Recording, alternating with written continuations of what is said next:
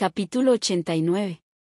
Antes de que el grupo se dirigiera al piso de abajo, Alfredo le preguntó a Roxana si podía levantarse de la cama en su estado. En cuanto obtuvo su aprobación, dejó que Jonathan y el mayordomo lo sostuvieran y bajó despacio las escaleras.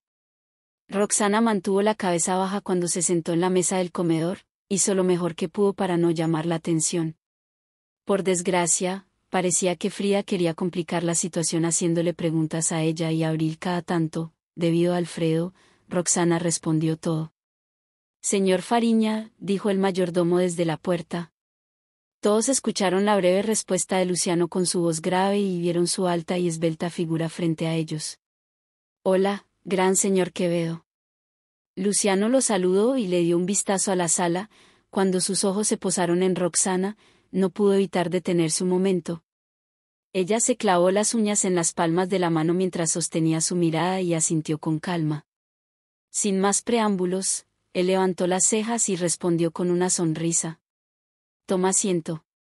Abril estuvo esperándote casi todo el día, dijo Frida con gusto haciéndole señas para que se sentara junto a su amiga.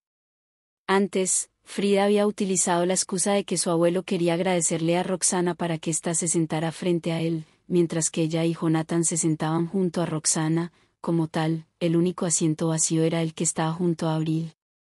No obstante, dado que la mujer sabía que Luciano tenía una relación más cercana con el anciano que ella, se puso de pie de inmediato y le cedió su lugar. De esa manera, el hombre se encontraba junto a Alfredo y también justo enfrente de Roxana. Al verlo sentado frente a ella, la mujer se tensó mientras bajaba lentamente la mirada. Cuando comenzaron a cenar, Roxana se concentró en su comida y solo habló cuando Alfredo le dirigió la palabra. En cuanto a Abril, lo que más le preocupaba era la actitud de Luciano con Roxana. Incluso cuando le daba comida a Alfredo, revisaba la línea de visión de Luciano y le hablaba con frecuencia, así no se enfocaba mucho en Roxana. Por supuesto que la mujer desconocía los motivos de Abril, ya que, lo único que sabía era que su conversación en verdad los hacía parecer como si fueran una familia y no podía eliminar la sensación de incomodidad. Frida la miró y se sorprendió al verla tranquila y serena, entonces, se volvió hacia Abril y dijo con una voz dulce.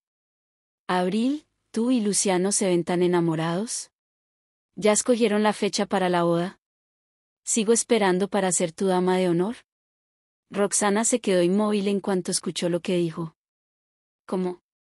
¿A qué se refiere con eso? ¿Luciano y Abril aún no se casan?